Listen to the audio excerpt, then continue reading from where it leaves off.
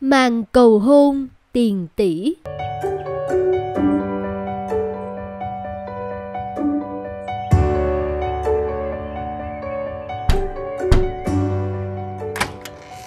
Win, sao, sao anh lại ở đây? Làm sao ra nông nổi này? Ờ, Erika à, xin lỗi em, thành thật xin lỗi em. Hãy quay về với anh. Một năm trước,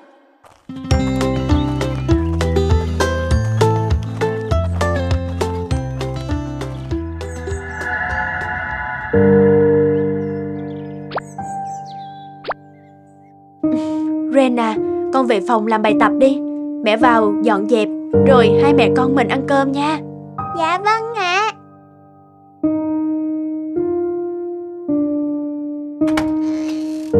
Ơ kìa, bà xã, sao tối rồi, em còn không lo ngủ đi. Win à, tôi hỏi anh, có phải anh đã đem bộ ghế trong phòng khách và tivi đi đánh bạc rồi có đúng không? Ờ, không có, cái này không gọi là đánh bạc được, cái này gọi là đầu tư. Em yên tâm, sau này gỡ lại vốn lẫn lãi rồi, anh sẽ mua lại một cái khác xịn hơn cho em. Anh quên là tivi này chúng ta đã dành dụm cực khổ ra sao để có được nó hay sao hả? Nó còn là niềm vui của con chúng ta nữa mà. Anh bán nó đi rồi, con bé buồn lắm, anh có biết không? Ôi trời ơi, có cái tivi thôi mà sao cũng nói. Lúc trước là tôi mua nó, giờ thì tôi bán nó đi thôi. Anh có biết anh bán bao nhiêu là thứ trong nhà này rồi hay không hả? Bây giờ anh lại bảo là có cái tivi thôi à? Đàn bà quá thật lắm lời. Đem bán chút đồ cho chồng đầu tư, sao em cứ khó chịu vậy? Thế em ôm hết đống đồ vớ vẩn ấy, cái nhà này có giàu nổi không? Giờ tôi mới biết tại sao hôm nay đặt đâu thua đấy Là do cái mệnh đen đuổi từ bộ dạng cao có của cô đó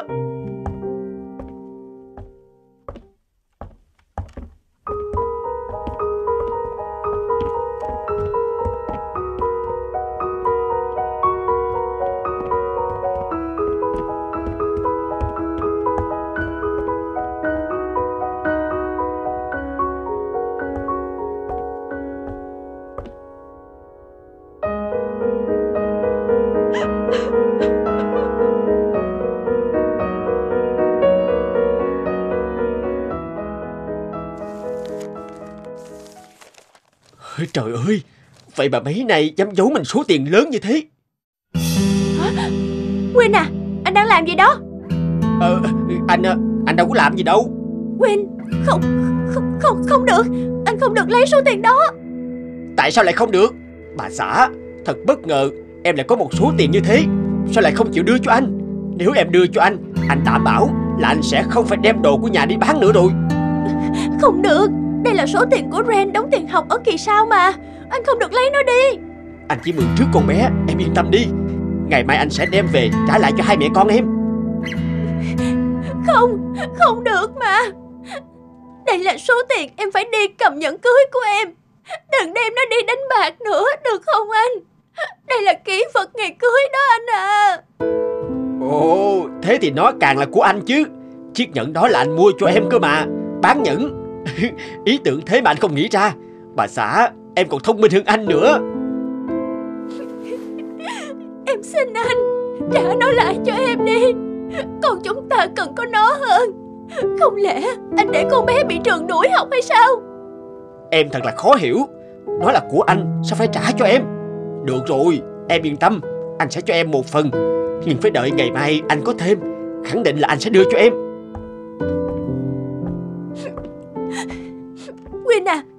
hôm nay anh cầm tiền này rời đi. Em sẽ không bao giờ tha thứ cho anh đâu. Đủ rồi nha. Cô giữ tiền riêng tôi còn chưa nói.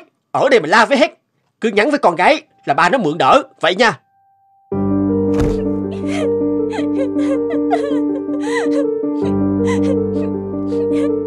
Sao anh nỡ đối xử với vợ con anh như thế này chứ? Ren này Sau này có thể mẹ không thể cùng con đi học Và về nhà được nữa Sau này con cùng với mẹ bạn Otis về chung nha Nhớ là phải nghe lời mẹ bạn ấy Không được chạy lung tung nghe chưa ừ? Tại sao mẹ không đi cùng con nữa Bởi vì mẹ phải đi đến một nơi xa để đi làm Mẹ đi làm sẽ có tiền mua đồ đẹp và đồ chơi cho Ren của mẹ nè. Ừ, con không cần đồ đẹp đâu. Mẹ ơi, mẹ đừng đi làm xa mà. Ren sẽ nhớ mẹ. Ngoan nào, Ren ngoan. Mẹ phải đi làm, nếu không Ren sẽ nhịn đói mất. Ren nhịn đói, mẹ sẽ đau lòng lắm. Vì vậy, con phải ngoan ngoãn ở lại học hành. Mẹ sẽ nhanh chóng trở về, được không con? Dạ vâng ạ.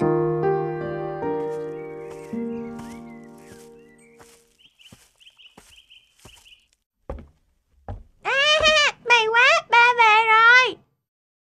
Ừ, ba về rồi. Ba ơi, con đói quá à. Ừ, sao lại đói bụng? Mẹ đâu? Mẹ không nấu cơm cho con ăn à? Mẹ không có ở nhà. Mẹ bảo mẹ phải đi làm xa rồi. Tạm thời không về được.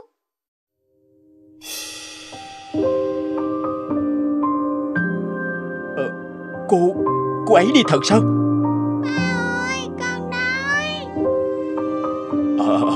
Ren ngoan, con đợi ba một lát. Ba sẽ nấu gì cho ba con mình ăn nha. Dạ vâng ạ.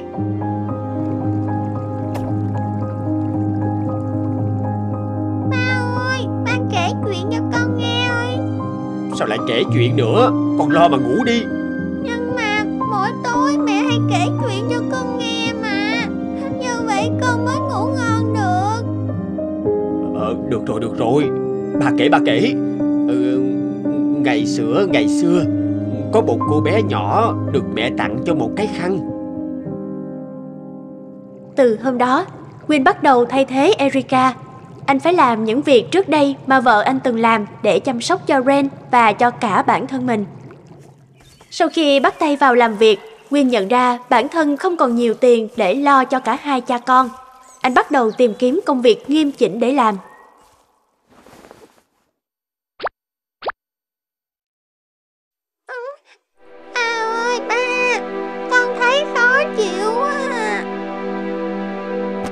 Ren, con làm sao thế?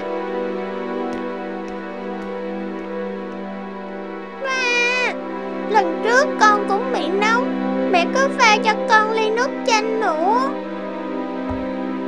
Giờ con còn khó chịu chỗ nào không con? Ba đem nước chanh lên nè.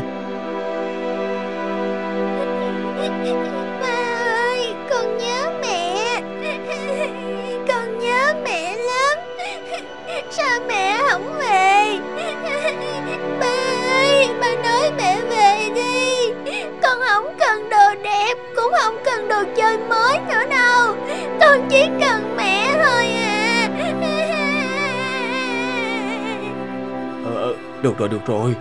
Ba xin lỗi con. Ngoan nào, con mau ngủ đi. Ba hứa với con, ba sẽ đem mẹ về được không?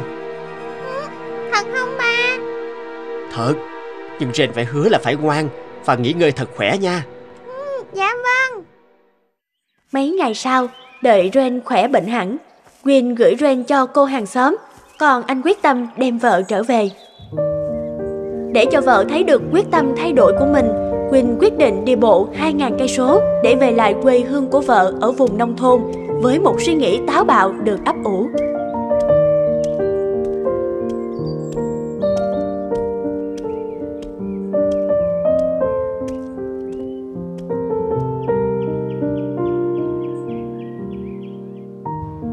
Hai tháng sau,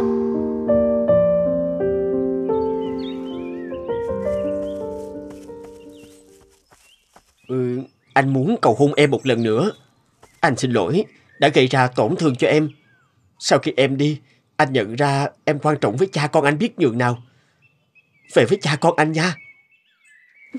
Win à, tôi chấp nhận lời xin lỗi của anh.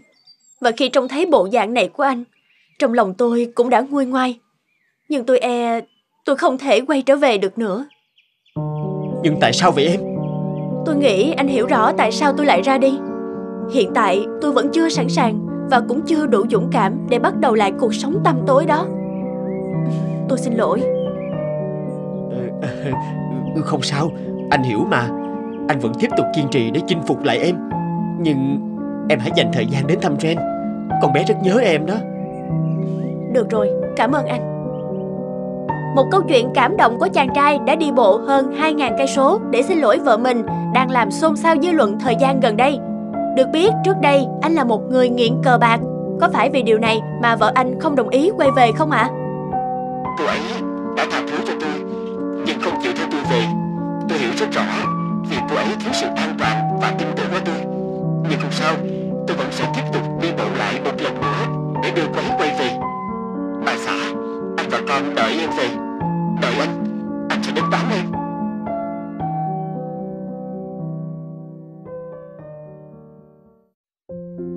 Con khác lạ.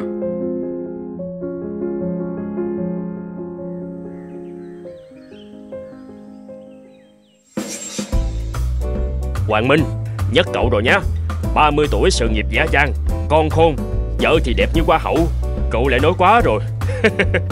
Mình nghe nói vợ cậu một cô cha mẹ từ nhỏ, Không có họ hàng thân thích, Một mình lên thành phố lập nghiệp rồi gặp cậu đúng không? Đúng là chân dài lại gặp đại gia. Ông trời đúng giỏi xe duyên. Có mà chân dài đánh hơi thấy đại gia thì có. Mình và Hương Ly gặp nhau trong công việc. Cô ấy trước khi gặp mình là một người đầy tự tin và bản lĩnh trong công việc. Chỉ từ một lần làm việc với cô ấy mà mình đã chủ động liên lạc. Khi biết được hoàn cảnh của cô ấy Mình lại càng khâm phục cô ấy hơn. Nhưng cậu cũng thừa nhận là cậu mê nhan sắc của cô ấy nữa đi. Cái này thì mình thừa nhận Vì cô ấy đẹp quá mà Nhưng sắc đẹp đó là món quà thêm vào thôi. Mình vẫn yêu con người của cô ấy hơn tất cả. Thôi các ông đừng nói nữa. Mắc công người ta lại khen vợ hết ngày mất.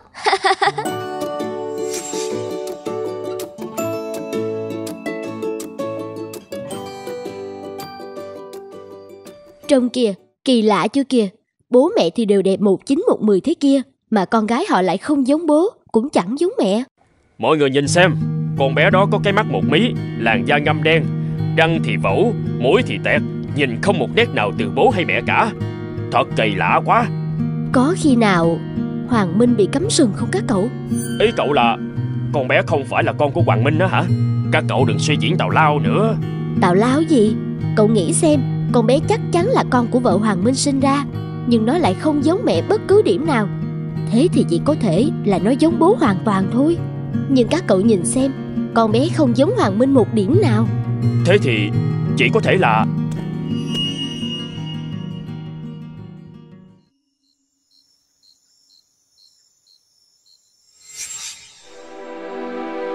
Quả thực, Con bé quá khác hai vợ chồng mình. Nhưng biết đâu Là sen lặng của vợ Hoặc mình thì sao?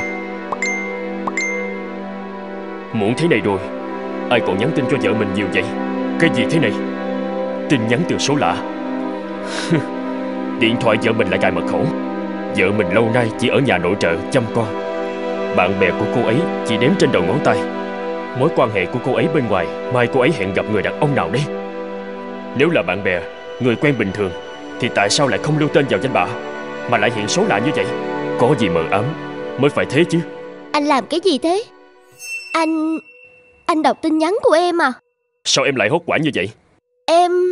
Em hốt hoảng bao giờ? Em chỉ đang hỏi anh thôi mà. Điện thoại em có cài mật khẩu. Anh làm sao mà vào đọc tin nhắn được? Nhưng điện thoại em có điều gì Mà anh không thể đọc được à? Em...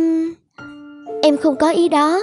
Chỉ là mấy đứa bạn em đang nhắn tin Nói xấu chồng ấy mà. Bọn em chỉ tám chuyện đùa vui thôi. Em sợ anh đọc được lại hiểu nhầm thôi. Ừ không sao đâu. Tại sao cô ấy lại nói dối Giám đốc Chuyện riêng hôm qua anh nhờ tôi điều tra. Tôi đã đi theo cô Hương Ly. Quả thực cô ấy hẹn gặp một người đàn ông ở quán cà phê à? Cái gì thế này? Thật không ra thể thống gì cả. Trông họ thân thiết, gần gũi Cứ như là tình nhân ấy giám đốc à? Thế cậu đã điều tra ra người đàn ông ấy là ai chưa? Theo như tôi điều tra Thì người đàn ông này là bác sĩ chính của thẩm mỹ viện Hoàng Mỹ. Và cô Hương Ly đang là khách hàng VIP tại đây. Tuần nào cô ấy cũng đến thẩm mỹ viện này ba bốn lần. Chuyện làm đẹp thì có cái quái gì gấp gáp Mà phải gặp riêng bác sĩ ở ngoài, Lại còn thân mật gần gũi thế này nữa. Tôi nghĩ quan hệ của họ không đơn giản đâu à. Có khi đến thẩm mỹ viện cũng chỉ là cái cớ để gặp nhau thôi, giám đốc. Cậu nói xem, Tôi đối với vợ mình có việc không tốt Mà cô ta lại cấm sừng tôi như vậy? Hôm nay, tôi phải hỏi cô ta cho ra lẽ mới được. Giám đốc, Anh cứ bình tĩnh đi, Đừng đánh rắn động cỏ. Phụ nữ đang ngoại tình Thì họ có nhiều lý lẽ để chối cãi lắm. Để em theo dõi thu thập thêm bằng chứng Để cô ta không thể chối cãi được. Được rồi, thưa Ký Lương Cậu hãy theo dõi thêm cho tôi. Có gì báo tôi ngay. Dừng thưa giám đốc.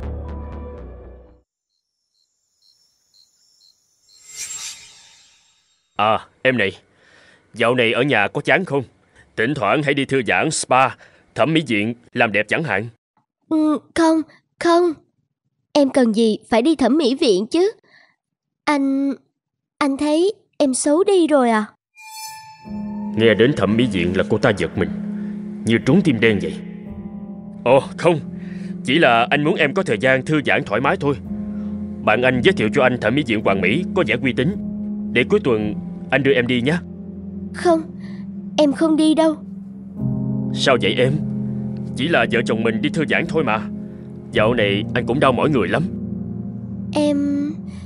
em không thích đi mấy chỗ đó. Thôi Em chịu anh Đi một lần đi mà Anh quyết rồi đấy Cuối tuần anh đưa em đi Em đã nói là em không đi đâu mà. Anh đừng ép em, em không thích đâu.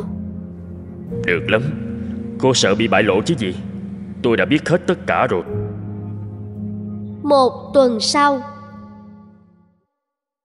Một tuần qua Tôi đã theo dõi cô Hương Ly 24 trên 24 Nhưng Lạ lắm giám đốc ạ. Một tuần qua cô Hương Ly không hề gặp riêng vị bác sĩ kia một lần nào nữa. Sao lại như vậy? Họ không hề hẹn hò riêng sao? Cậu có theo dõi sát sao không đấy? Dạ Em đâu dám lơ là. Ngoài thẩm mỹ viện ra, Họ gần như không có gì liên quan đến nhau. Vị bác sĩ kia Cũng có vẻ là tiếp người của gia đình. Cứ tan làm là anh ta về thẳng nhà với vợ con. Sao lại thế được? Rõ ràng mười mươi là họ ngoại tình với nhau mà. Chẳng lẽ tôi đã quá đa nghi mà nghi qua cho cô ấy rồi sao? Nhưng giám đốc, Tôi tôi lại phát hiện ra một chuyện này Muốn báo với anh. Nó còn kinh khủng hơn đấy à? Hôm qua tôi phát hiện cô Hương Ly Có đến gặp người này. Biểu hiện của cô Hương Ly khi đến đây Rất khả nghi, Lén la lén lút. Ông để ý kỹ gương mặt người đàn ông này đi ạ Người này tôi chưa từng gặp bao giờ, Nhưng trong ông ấy Trời ơi, Cậu có thấy Ông ấy và con gái tôi Trông rất giống nhau không?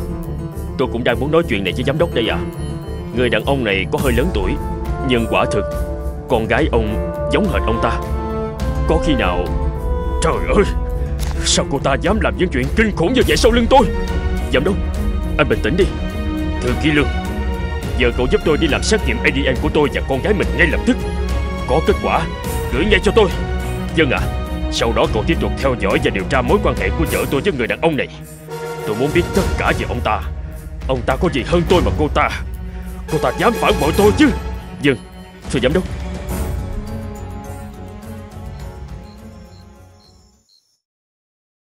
Con gái, đây là họ hàng bên ngoại của chúng ta. Con, con nói chuyện với ông đi. Con có biết đó là ai đâu. Con ngại lắm. Con không nói chuyện đâu. Sao con lại ngại? Chúng ta là một gia đình mà con. Cô đúng là thứ phụ nữ lăng loàn Cô thật sự đã cắm sừng sau lưng tôi. Giờ cô còn muốn cho con bé nhận bố ruột của nó đúng không? Anh... anh nói gì vậy? Cô còn định chối à? Tôi vốn không nghĩ nhiều khi con gái tôi càng lớn Càng không một nét nào giống tôi và cô. Cho đến khi tôi thấy cô gặp gỡ người đàn ông có gương mặt y đúc con gái tôi Cô giải thích đi. Nó là con của ai Con gái, con về phòng học bài đi. Mẹ và bố có chuyện phải nói với nhau. Vâng ạ.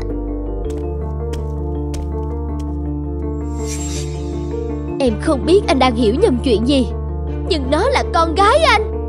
Cô còn già mồm chối cãi sao Đợi tôi có bằng chứng xác thực 10-10 Xem cô còn gì để nói với tôi Alo Tôi nghe Đã có kết quả xét nghiệm ADN rồi à Con bé đúng là con của anh Giám đốc à Tỷ lệ huyết thống là 99,99% Cái gì? Vậy còn người đàn ông có nét giống con gái tôi Mà vợ tôi lén lút gặp là ai? Tôi đã điều tra lai lịch của người đàn ông ấy Và phát hiện ra một chuyện rất bất ngờ. Cô Hương Ly từng có trong hộ khẩu của ông ấy Với quan hệ là bố con. Cái gì? Bố con sao? Dân à Điều này có thể lý giải vì sao con gái anh lại giống ông ấy. Anh thật sự chưa gặp bố vợ mình bao giờ sao Hương Ly Chuyện này là sao em Chẳng phải em nói là em là trẻ mồ côi sao Bố Sao bố em lại vẫn còn sống Anh... anh đã cho người theo dõi em ư? Đúng, anh đã theo dõi em. Nhưng tại sao em lại nói dối anh? Chuyện em đi thẩm mỹ viện là gặp ai? Rồi chuyện bố. Tại sao em lại có quá nhiều bí mật như vậy? Chúng ta có là vợ chồng không? Có lẽ đã đến lúc em phải nói tất cả sự thật với anh. Em cũng mệt mỏi lắm vì cứ phải nói dối anh. Thật ra, thật ra trước khi gặp anh, em đã phẫu thuật hoàn toàn gương mặt mình để có thể trở nên xinh đẹp. Em nói cái gì? Anh có biết gương mặt của em trước kia thế nào không? Con gái chúng ta thật ra giống y hệt em trước kia. Thật là bất hạnh. Em bình tĩnh lại đi. Em kể cho anh nghe mọi chuyện đi. Trước khi gặp anh, em đã rất xấu xí. Vì sự xấu xí đó mà mọi cơ hội về tình yêu hay công việc em đều đánh mất. Em đã đưa ra một quyết định lớn của đời mình. Đó là đi vay một khoản tiền rất lớn và thực hiện hàng trăm cuộc phẫu thuật lớn nhỏ để cuối cùng có được gương mặt xinh đẹp này đây. Sau khi có gương mặt xinh đẹp, cuộc sống của em thuận lợi vô cùng. Em có công việc tốt, em tự tin và chăm chỉ làm việc để trả hết số nợ lớn kia. Và thật may mắn là em gặp được anh, có một gia đình hạnh phúc. Nhưng em biết, anh sẽ không bao giờ chấp nhận quá khứ đó của em, gương mặt thật của em. Nên em đã giấu anh đến tận bây giờ. Em biết anh yêu em, lấy em một cô gái tỉnh lẻ không già thế. Cũng chỉ vì gương mặt xinh đẹp này thôi. Nên em Em không thể để khuôn mặt này xuống sắc. Thời gian gần đây, Em liên tục đến thẩm mỹ viện Để trùng tu lại. Em không muốn mình xấu xí. Vì em không muốn mất anh. Em là một đứa con gái bất hiếu vì em có gương mặt giống bố, Nên Em Em sợ anh sẽ phát hiện Khi gặp ông ấy. Em đã nói dối anh Là em mồ côi. Em cắt đứt mọi liên lạc với họ hàng Và bạn bè cũ Để anh không phát hiện ra quá khứ của mình. Điều duy nhất em có thể làm Là lén đưa ba mẹ lên đây, Chu cấp cho ba mẹ cuộc sống đầy đủ Và lén lút gặp họ. Em biết mình làm vậy là sai. Nhưng Nhưng em đã lỡ đâm lao Thì phải theo lao. Ai nói với em rằng Anh yêu em chỉ vì em xinh đẹp? Ai nói với em rằng Anh sẽ bỏ rơi em chỉ vì gương mặt và quá khứ trước kia của em chứ? Em biết không Khi anh gặp em Em quả thực rất xinh đẹp. Nhưng xung quanh anh lúc đó Cũng không thiếu những cô gái xinh đẹp dây quanh.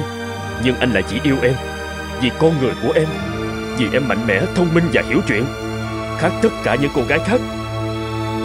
Vì vậy Tình cảm đó sẽ chẳng có gì thay đổi. Dù cho gương mặt của em có như thế nào. Thật sự Thật sự là vậy sao? Và từ nay Xin em đừng bận tâm hay suy nghĩ gì nữa. Chúng ta chỉ cần thật lòng Yêu thương nhau là đủ. Em xin lỗi. Em thật là ngu ngốc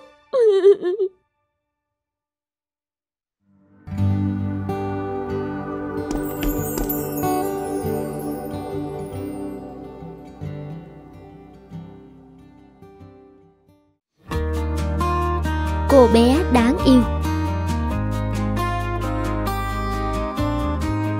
Alan ơi Tớ có tin vui cho cậu này. Bài Bài nghiên cứu của cậu được phê duyệt rồi. Cậu sẽ bay qua Đan Mạch để thực hiện nghiên cứu đấy. Trời đất Thật sao? À Tớ vui quá Tommy ơi. Đan Mạch là một trong những đất nước hạnh phúc của Bắc Âu đấy. Giấc mơ tớ thành sự thật rồi. Chúc mừng Chúc mừng bạn Hiền Tôi thật sự thất vọng về bài nghiên cứu của cậu.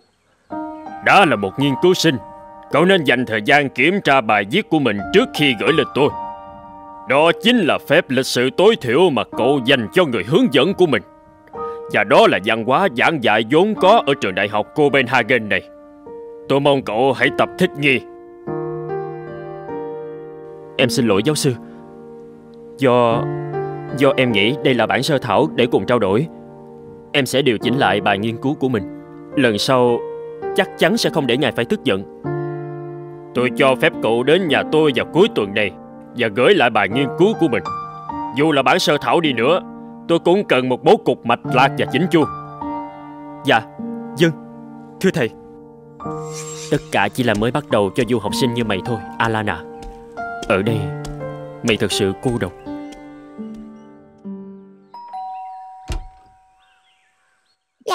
Chào chú, chú kiếm ai ạ?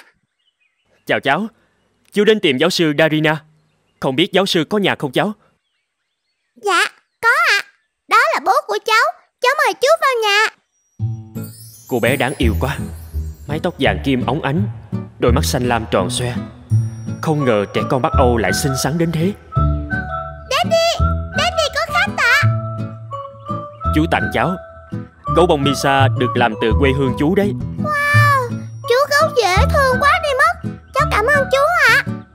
Cháu bé. Chú chưa từng thấy một cô bé nào xinh xắn có đôi mắt đẹp như cháu đấy. Cháu thật sự đáng yêu. Cảm ơn Donna đã tiếp khách giúp bố. Bố rất vui con gái à. Giờ thì Donna về phòng chơi để bố làm việc nhé. Bố yêu con. Dạ, vâng ạ. Donna cũng yêu bố. Thầy có cô công chúa thật xinh đẹp. Em đã rất ấn tượng với cô bé Ngay từ lần gặp đầu tiên Quả thật, Rất ít khi được gặp một bé gái đáng yêu xinh xắn như thế đấy ạ.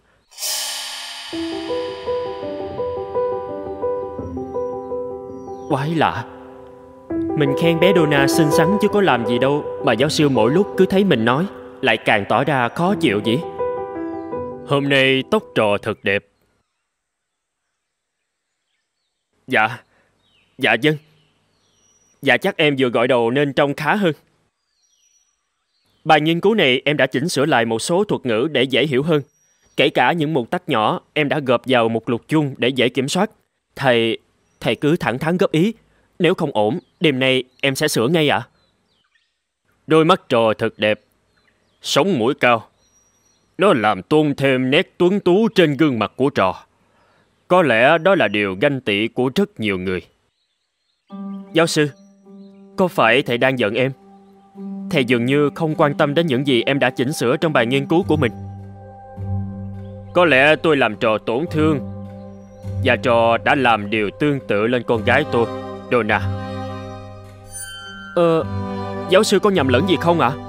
Vừa rồi em chỉ khen con bé đáng yêu còn tặng chú gấu bông cô bé rất thích. Thì làm sao gọi là tổn thương, thưa thầy? Trò vừa khen con bé xinh nhưng xinh hay xấu không do chúng quyết định mà là ở gen di truyền đến từ ba mẹ chúng. Thì không muốn sau này con bé lại coi thường những đứa trẻ không sinh bằng nó. Điều này dễ làm con bé mắc lỗi.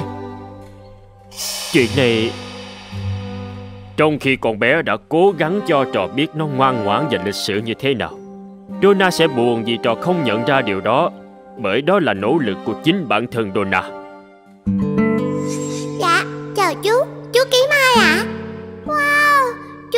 Dễ thương quá đi mất. Cháu cảm ơn chú ạ. Cảm ơn Donna đã tiếp khách giúp bố Bố rất vui con gái à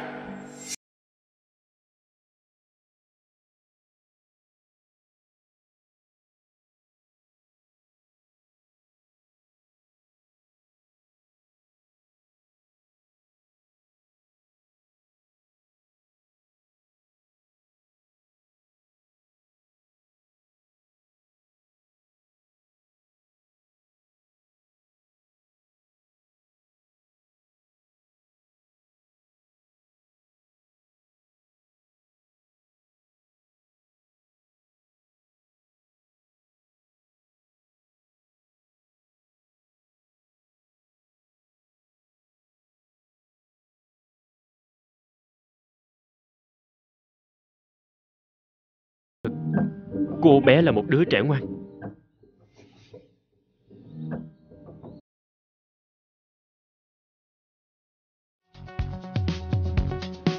Hãy like, comment, subscribe kênh để xem thêm những video mới nhất nhé.